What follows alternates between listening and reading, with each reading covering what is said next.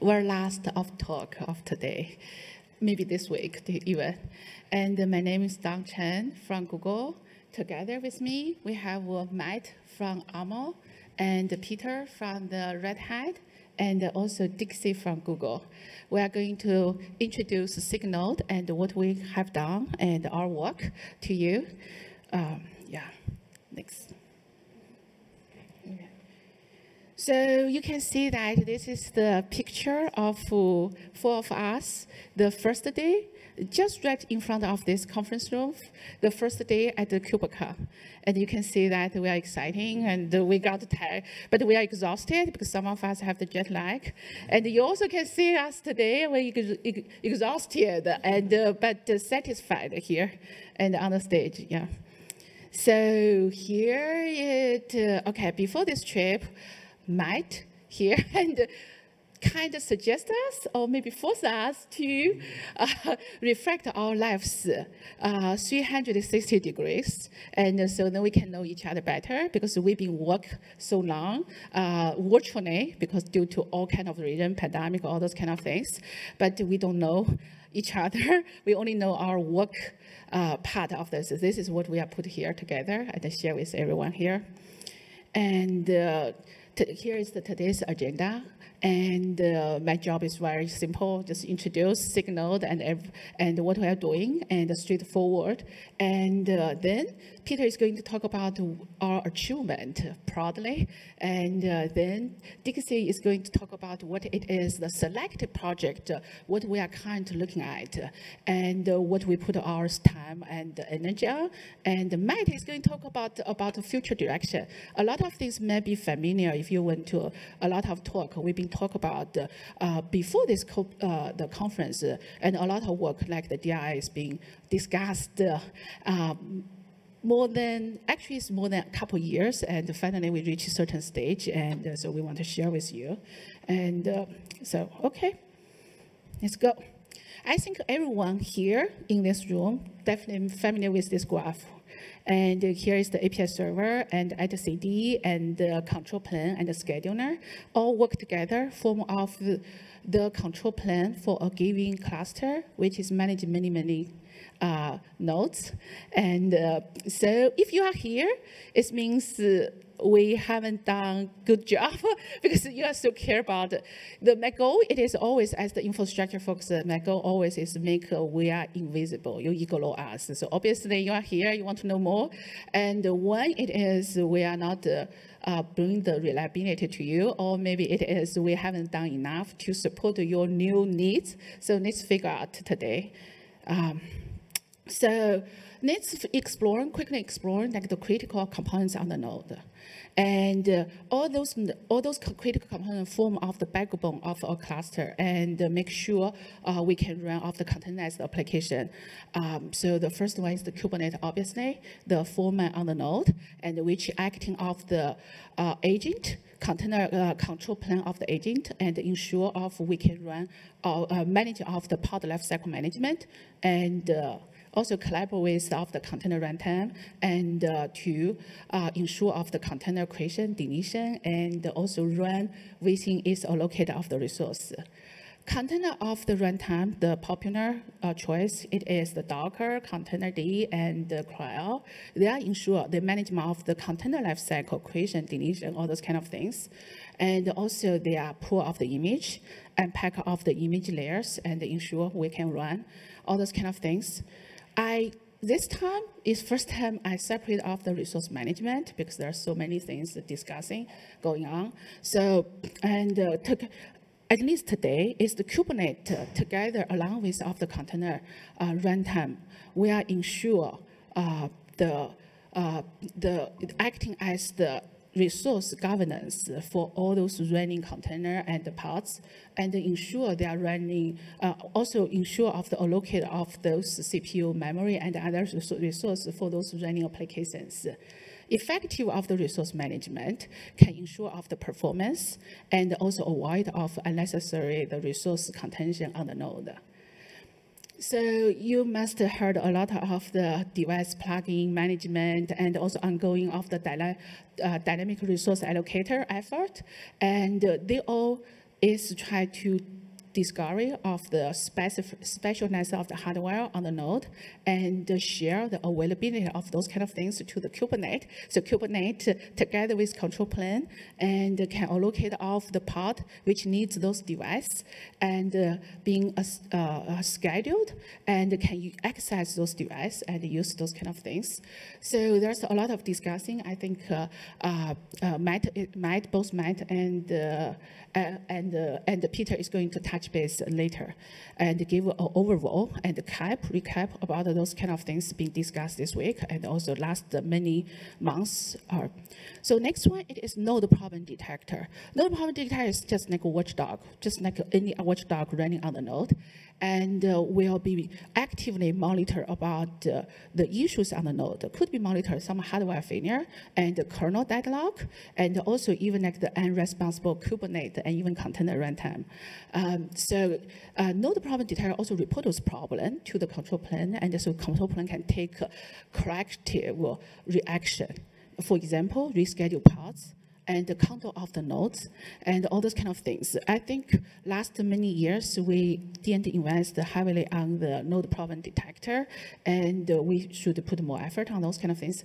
The very last, but it's not really uh, last one, it is the storage and network component. For example, CSI and the CNI, basically it is just make sure of the smooth of the communication uh, and also make sure of we, we can integrate with the storage resource, all those kind of things.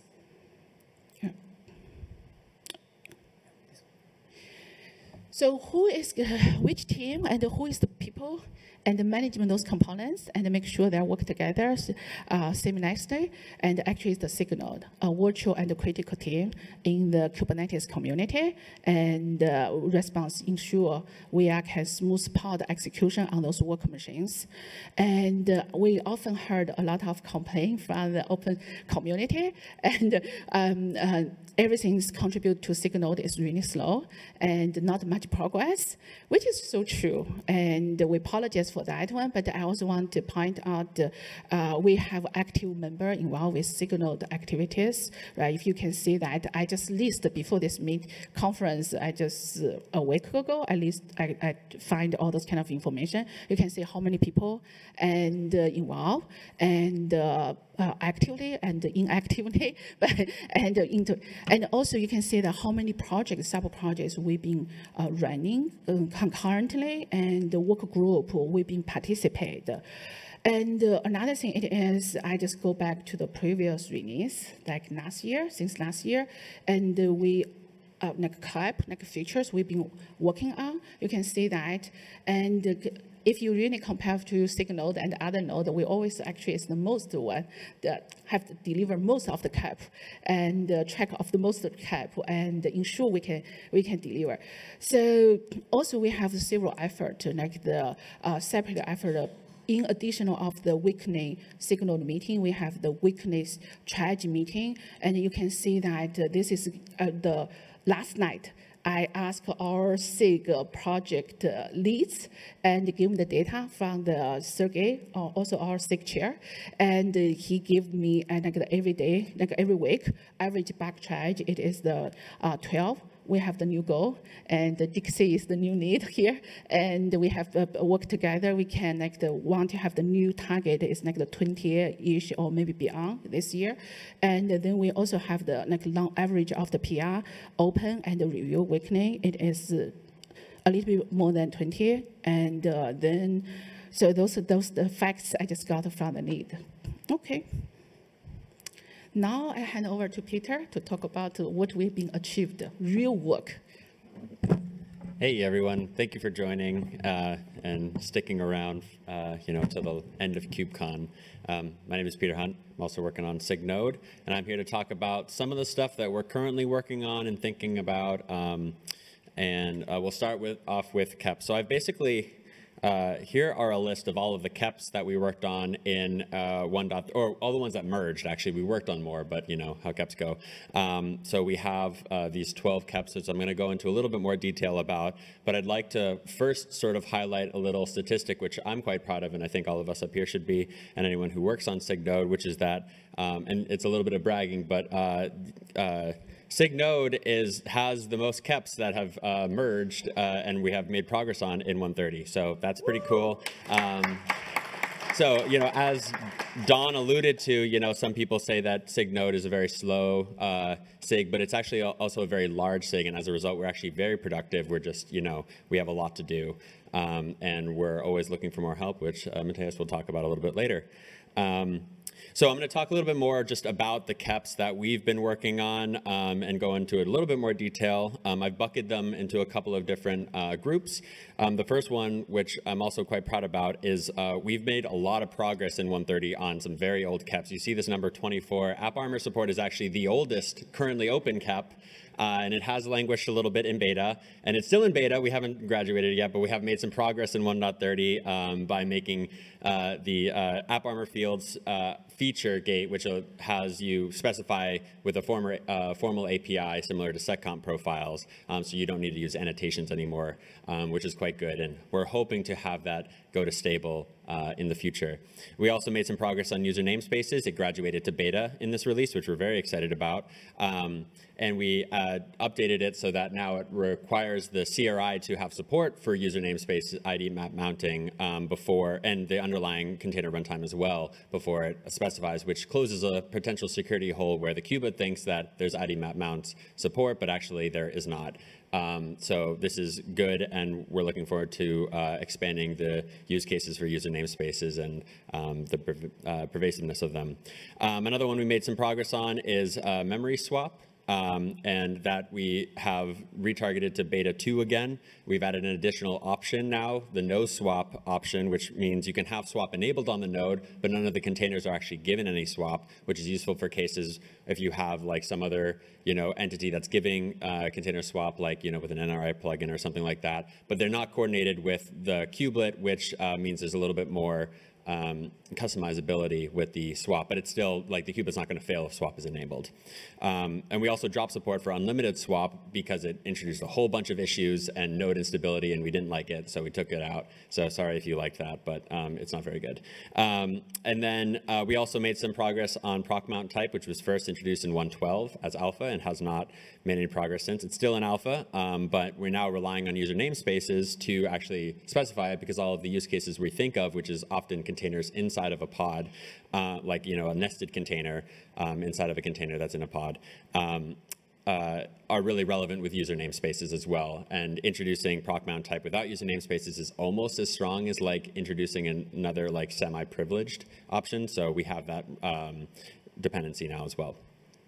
The next bucket of features, which I'm not going to go into as much depth, but these are all just some features that were formerly in uh, alpha and now they're in beta. They're following the normal life cycle of um, KEPs and uh, we're excited about them. Uh, drop-in kubelet configuration will allow you to specify, you know, drop-in config um, for the kubelet, which um, can allow you to customize the configuration easier.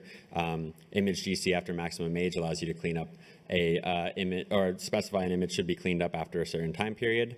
And then uh, a sandbox creation condition, which is useful for batch workloads, and then a sleep action for post-stop hook, allowing you to you know pause after the post-stop.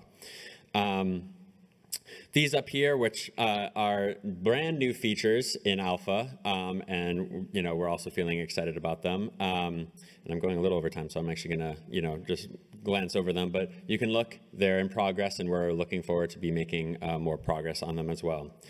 Um, the final bucket, which is actually just one KEP, but it's very relevant now, and everyone's thinking a lot about it. Um, and it's, you know, we're celebrating uh, this week. It's a DRA con. Um, you know, these are all the talks that were about DRA, but actually, in reality, the reason that it's so relevant is it's actually AI con. Um, and here are all of the talks that are about AI and machine learning. Um, so obviously, the Kubernetes community is thinking a lot, or in cloud native generally is thinking a lot about being relevant in um, AI workloads and being able to handle those types. And um, DRA is one of the things that SIG Node is thinking a lot about in enabling uh, those uh, special workloads. So um, you know, I'm going to go just briefly over because, you know, there are all those other talks that you can go and reference. But um, DRA is basically a way to teach the scheduler and the Cube API about special devices. Um, and it is relevant for enabling GPU and special networking cards. In the context of AI, we're really thinking about GPU enablement, but it also can enable special uh, and all of that. Um, and it defines what we call topology, which you know is just a fancy way of saying the, like the node resource alignment. So you have resources that are on a node, and you want to be able to align the pods with those resources. So the DRA as it currently works now, it's, this is a brief diagram and it's currently an alpha, well, it was an alpha pre-130 and it's still in, we've changed it a little bit and I'll get into that. But the pre-130, this is the way that it worked, where basically a vendor is able to register, you know, a special API to the, with the DRA driver controller and that sets um, some information to the scheduler about, you know, what resources are available on a node. But there are a couple of problems with it and things that we're looking to fix. Um, so uh, one of those things is you want to be able to, like there exists this use case where there are multiple uh, GPU uh, plugged into a node and you want to be able to choose which GPU a pod is, uh, you know, you want to be aligned to. And the current API wasn't really able to do that ex expressively. Um, there also is the delayed allocation problem, which is uh, currently the way the scheduling works is the scheduler has some information about what is on the node, but really it's just going to go and, you know, try sequentially through all the nodes and be like, can I try this here, and then it gets denied at runtime rather than at scheduling, which is kind of inefficient. Um, and a consequence of that, um, you know, pattern is also right now there's no way to signal to cluster autoscalers when, you know, because we're not thinking about it at the scheduling level, it's being denied at the runtime. So there's no way to tell an autoscaler like, hey, we don't actually have enough of these GPUs or these uh, special networking cards. So like we need to make more nodes. So the way that um, has been proposed to fix this is uh, oh, uh, so th this is the proposal, um, you know, sort of new uh, setup, which is going to um, allow the kubelet to, well, it, the DRA driver has kind of two pieces of it. One of it is, you know, to specify the resources and that goes to the scheduler and also have the kubelet be able to broadcast that information to the scheduler so it, the scheduler has more in-depth knowledge about what uh, these resources are and what they have. Um, and that means that it can deny things at scheduling step and that will allow um, you know other events to be listening to the way that the scheduler works and be able to react to that. So this has been done with uh, KEP 4381 structured parameters, and we're all thinking a lot about this. And you know this is going to probably be the hottest topic of the next year. So stay tuned and um, you know let us know if you have any other use cases for it. Um, you know it's it you know obviously uh, looking forward to seeing you at AICon in. Uh, Salt Lake City. So uh, with that, I'm going to pass to Dixie, who's going to talk about another deep dive in SigNode.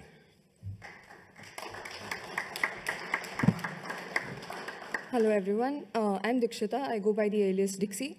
And I'm going to deep dive into in-place pod resize and why in-place pod resize in particular, because I hope it also becomes a resource management con next time.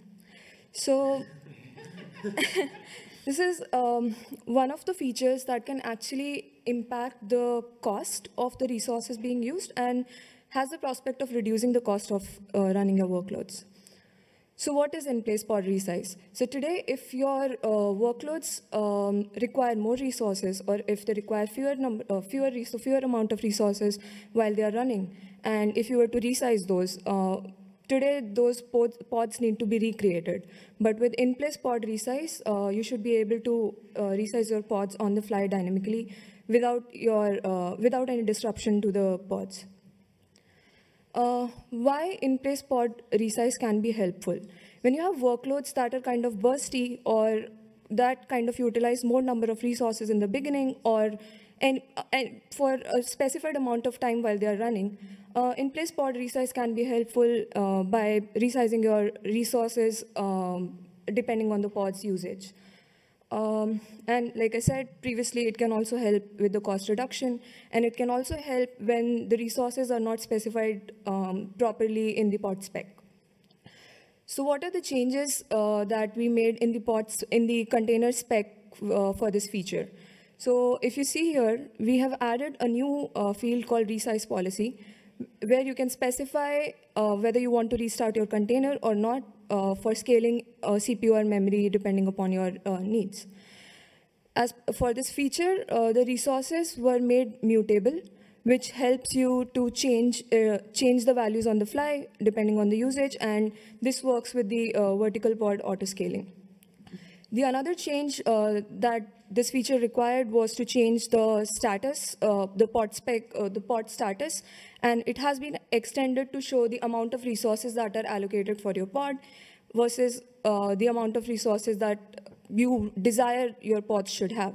So the allocated resources is the one that is allocated at a point of time. And when you do the resize, you can see there is another field called resize, which shows you um, the status of your resize. So as per the spec, the resize is in progress, and the desired state is specified in the resources section for CPU and memory. The status of this feature is this is in alpha right now uh, since 127. And we have been trying to promote it to beta for a while now, and we are seeking for some user feedback. There are a lot of blockers here, which I have specified uh, and added the links in, in interest of time. We won't be deep diving into it. And in 131, we are trying to address at least some of the uh, outstanding issues if we are not able to do beta, but we are actually trying to aim for it. Uh, some of the issues uh, that we have already addressed are uh, supporting CPU managers, static policy and some more, and the rest are added in the link. And I will hand it over to Matthias. Thank you.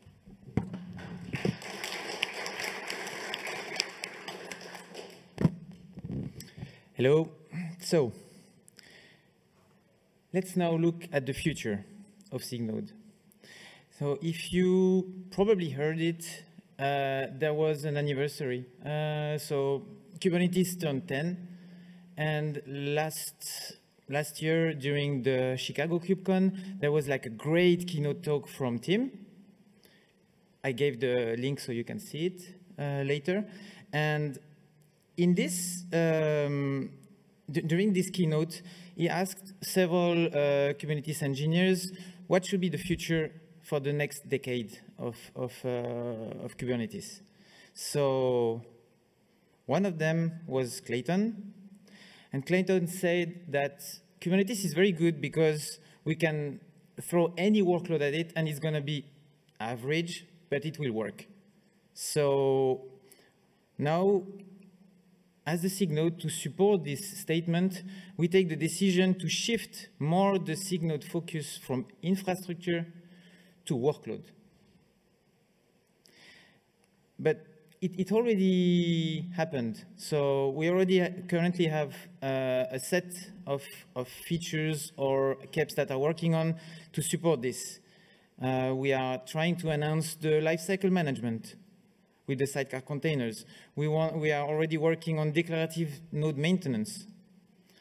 We focus on addressing some of the hardware uh, better, like NUMA support, GPU, TPU, accelerators, storage also. Mm, another very important thing when you are doing, when you are, when you are specific on the workload is how do you isolate? So, and of course, we collaborate with other SIGs on this, namely SIG Apps, architecture, auto-scaling, scheduling, and batch. But as um, Peter said, the elephant is in the room, so all this work is not sufficient because of AI. And especially one, another kind of AI that uh, we aren't prepared for, which is inference. And if we focus on inference, or GenAI, uh, it, it's really different from a normal uh, ML uh, workload where you train your model. Because in this case, you need to serve and, and you need to keep on serving where, where for training you can do batch, you save and it's finished.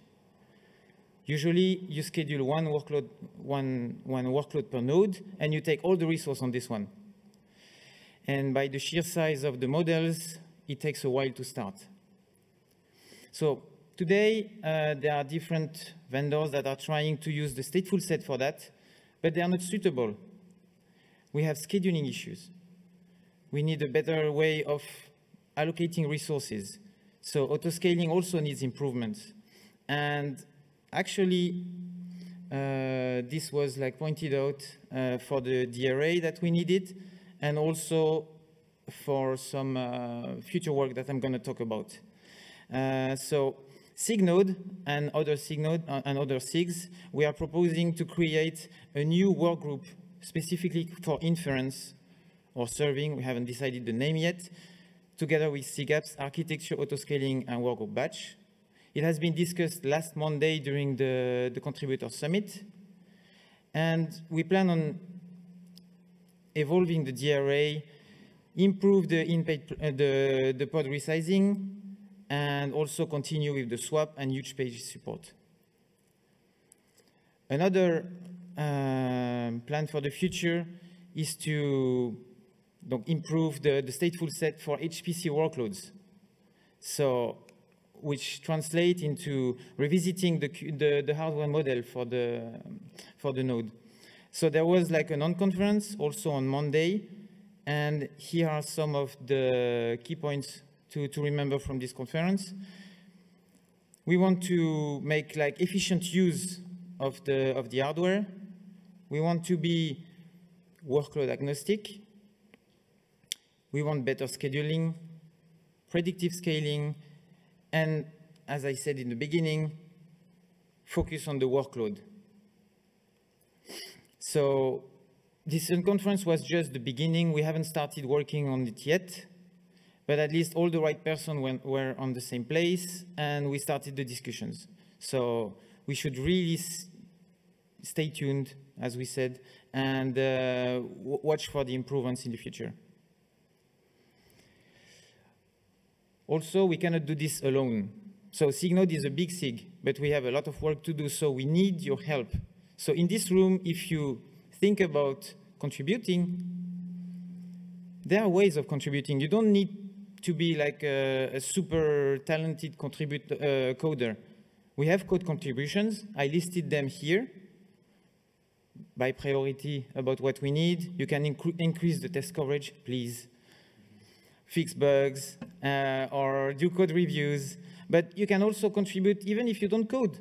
Just try your features, improve the documentation, or give feedback on the, on the user experience, or translate the docs, or organize some events to spread the word and make sure everybody knows about how Kubernetes is great. Now I'm going to try to convince you why you should invest particularly in SIGNode. Because we're a great team. That's it.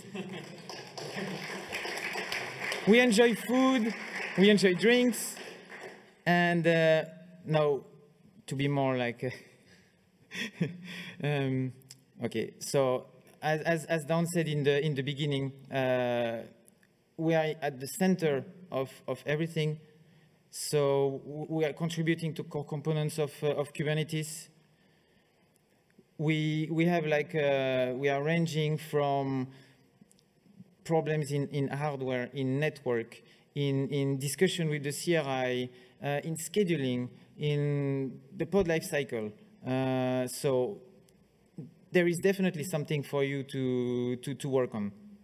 And of course, as other SIGs and, and the whole Kubernetes community, we are welcoming anyone to help and uh, yeah, I mean, you should really try, reach, to, reach, reach out to us, um, try to join the meetings. I think I have, yeah, here. How do you do? So we, there is like a, a, website helping you how to get started into the Kubernetes contributions. Um, I gave the links for the community meetings that Dawn uh, mentioned. Uh, we have the main page for the SIGNODE, all the working groups, there will be new ones, and some links about how to mentor. So please consider that. And if you want to have the, the slides of this, I will upload them into the Sched, and there is a QR code to, to reach it. Now, I think we can go to questions.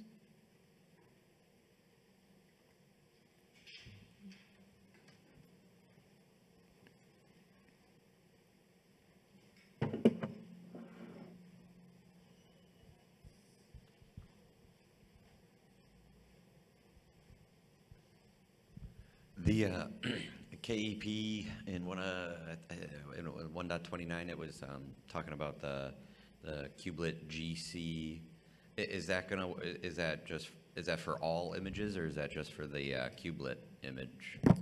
Um, so that is for the container images. So like, So all, all container images? Right, we'll right. just Specify, hey, you're too old. yeah, like, yeah, exactly. So it's, you specify like a timeout and after an image is unused for a certain amount of time, then it, um, is qualified for garbage collection regardless of node pressure, like memory, uh, disk pressure on the node. Thank you.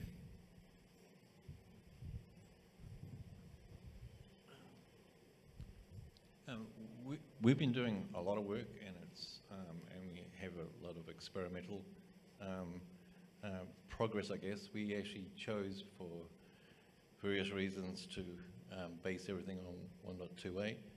And, um, but wh- what is the actual process of how can we get feedback on, on how to refactor what we've done to be acceptable before we go through? I, I don't want to waste our time and your time, um, like creating a KEP that is just going to, um, there's unnecessary editing cycles, for example.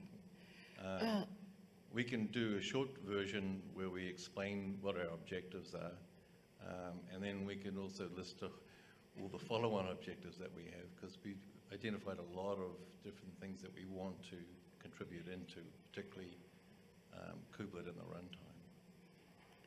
Um, And, and if you have some plans ahead of, you know, we also want to sort of fit in. Um, So even though we've done it one way today, um, I, I don't want to go too far and have to refactor it significantly. Um, thanks for this one. And uh, uh, I have to honestly say, most people give us feedback came to the SIG Node, the weekly meeting. But when you raise this question, actually, today's meeting, I realize actually the bar for for for uh, community to give us the feedback is too high. So you have to go to the SIG Node meeting and the time difference, all those kind of things. So there's another way to give us the feedbacks because we have the SIG Node, the uh, mailing list, and we reach out to most of the engineer. But I also think I also think about that the bar is too high because the SIG Node, the many people subscribed. So you know, so um, maybe after this this one, I can uh, talk to you. We should figure out uh, one way to not just hit to everyone, and uh, and there's the some way we can we can accept. Right, so accept, so not disclose all your personal information, contact information to entire of the community, but you can the feedback to us. Yeah, yeah. And also for earlier, like the image garbage collection, there also have the. I just want to add one thing, and there also have the discussing for some image, even like not like the wire uh, use, but uh, there's the way for. We, at least we discussed how to pin those image and even uh, you set off that uh, uh, time uh, expiry date and it could be there's the discussing and uh, so just want to add one thing. Yeah. Hi. Um, so my question is around in-place um, no, uh, pod resize. Uh, it's it's an amazing feature, and this is I'm I'm being uh, I'm very new to SIG Node um, as a, uh, as a consumer of the uh, feature. So uh, my question is, we typically recommend uh, any app platforms when they're deploying, uh, uh, when they're gauging or estimating their resource requirements to have higher density on the nodes.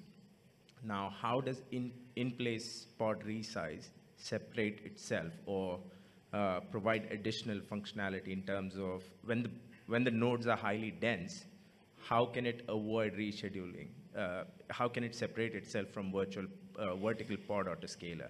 We are essentially in a situation where we'll end up rescheduling that pod on a different node and having something similar to vertical pod autoscaler. And in place uh, pod resize, does it have any impact on the future for vertical pod autoscaler as well? In place pod resizing actually is just enhancement for existing VPA. So existing VPA basically just you restart those, right? So re- you update that one, then you restart. In place is mean like the if possible. Of course, not we cannot guarantee, especially for the memory, you shrink memory, and you could cause off the OOM, so the container may still die. But uh, that's basically it's just reduce, uh, make sure that if possible, then container still can run. Yeah, it's it's not like the get rid of the VPA. No, it's just enhan enhancement. Yeah. So, but VPA is part of the uh, SIG auto scaling, and then it's an extended functionality in SIG node. Is that how we're looking at this? Mm. In place pod resize. Uh, Yes, yes, uh, VPA, yes, yes, VPA, because uh, to make this in-place pod uh, resizing, we have to work together with the auto scaling, right? So always, uh, otherwise, how you are going to get uh, the monitoring all those kind of things and make decision, right? So and also this this is a lot of decisions not uh, only done by node, maybe initiated by node and uh, uh, enablement by the node. But for this particular feature, actually, it's enablement by uh, cross organization, not just node, and also like the auto scaling. And also another thing is that just um, we maybe we oversimplify here, right? So like the how you are going to in place update. Eventually, you have based on some priority. So we are going to make that, yeah. Hi. um, My question is about um, VPA uh, in- insights, uh, in um, in place uh, resizing as well. Um, So from what I understand, there's no restarting it, um, but does it, does there, is there going to be any kind of impact to the workload? And how does it work for uh, pods that are running something like a JVM, where increasing the memory for the pod may not- necessarily increase it for the JVM? Yeah, then in this case, you, you have to have a workload that is able to, to use this memory that you have. Yeah. So not, not in, the case of the JVM, or if you use Golang with like uh, GoMem, Max GoMem or something, yeah, it, it, it won't help. I mean, there is no magic, but at least that's something that is possible today. And you could still uh, tell the VPA to restart, uh, to, to, to create a new container, I guess to, to, to, to use the new, yeah, yeah.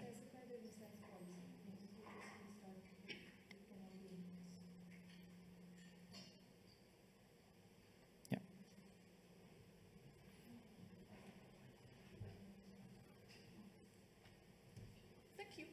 Thank you.